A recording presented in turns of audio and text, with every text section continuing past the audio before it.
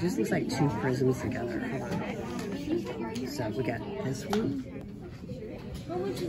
So in the book, it's sectioning off this.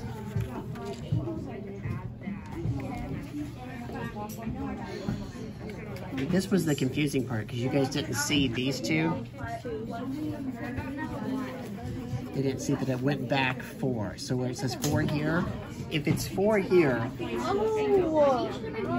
has to be four on this side. You see? Okay. So what's the area of the or volume of this one? Will be one, two, three, four, five, six. And how far does it go back? Four. So six times four, that. So this part's twenty-four, right? And then this is eight, and then four, So is thirty-two, and then times two, times is sixty-four. Sixty-four, and this was twenty-four. yeah, What's sixty-four and twenty-four? eighty-eight. Nice.